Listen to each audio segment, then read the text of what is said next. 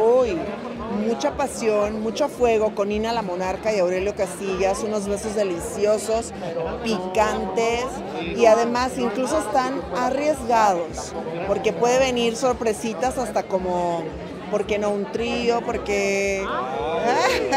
Oye, Leida, pero esto no pasó, eh, traspasó las pantallas, porque muchas veces cuando hacemos este tipo de escenas como que nos llega a mover el tapete, dicen.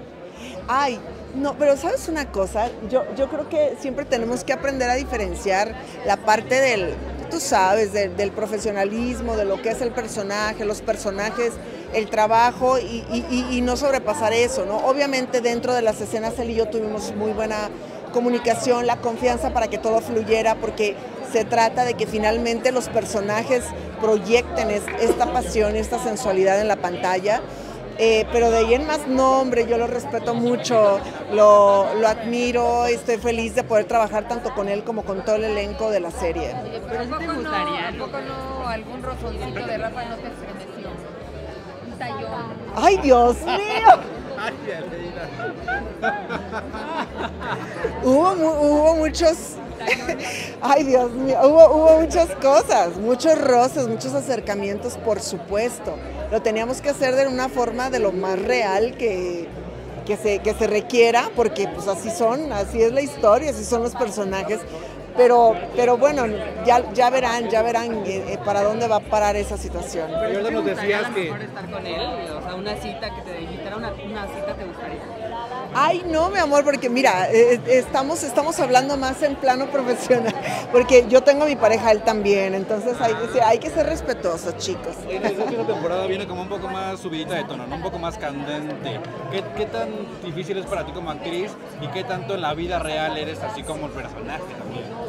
Para mí te puedo decir que como actriz es la primera vez que tengo este reto de interactuar, incluso hasta en la parte, en la parte ahora sí que eh, emocional y física con, con una mujer, ¿no? De un acercamiento, posiblemente haya más cosas más allá de eso, como un trío, ¿no?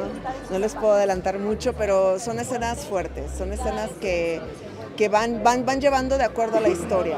¿Y en la vida, en la vida privada harías algo de lo que tu personaje hace en la ficción? No, en la vida, en la vida personal nunca jamás he tenido un acercamiento con, con una mujer, nunca he besado a una mujer y no he hecho tríos, entonces vamos a ver, de- realmente creo que sí ha sido, ha sido un reto importante, pero más allá de esto también viene la parte de la, de la musical, ¿no? En toda esta parte musical que también va a tener Nina la Monarca, que ya después se darán cuenta del por qué y hacia dónde va. Eh, va a haber sorpresas también musicales y bueno, ¿qué te digo? Es un personaje que tiene muchos matices, está muy bien escrito, muy bien dirigido, así es de que espero que el público lo disfrute igual que yo. Oye, Leida, y en otros temas, eh, nosotros te vemos espectacular, pero sin duda las redes eh, ahora se han vuelto bastante tóxicas. Eh, hemos visto comentarios que dicen que tal vez ya estás eh, un poco pasada de operaciones, en la cara. De pronto, ¿cómo tomas tú esto? Ay, yo no he visto absolutamente ningún comentario de eso, al contrario, todo el mundo afortunadamente siempre me, me llenan de cariño, me hacen comentarios súper bonitos, realmente eh, no, nunca he recibido cosas agresivas. Y cuando ha sido así, siempre hay que tomar las cosas de quien vienen, creo que lo más importante siempre es que yo me enfoco en la energía positiva, en la vibración alta, en los comentarios lindos. Y, y sigo aprendiendo porque soy un ser humano, soy una mujer como cualquier otra mujer y mi aspiración siempre es ser mejor, pero por mí misma, por mi familia, por mi hijo y nunca me enfoco en lo negativo, jamás. Oye, pero justo como decía mi compañero, las redes son muy tóxicas, ¿no? Por ejemplo, en el caso de Tati la gente la critica porque es muy delgada.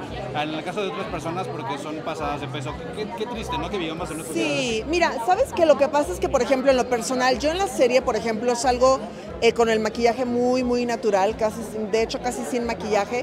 Y aquí, obviamente, como es una alfombra roja, de repente el, el maquillaje que es un poquito más exótico y los correctores, todo eso, tu expresión, tus acciones y todo pueden como este, verse un poco distintas.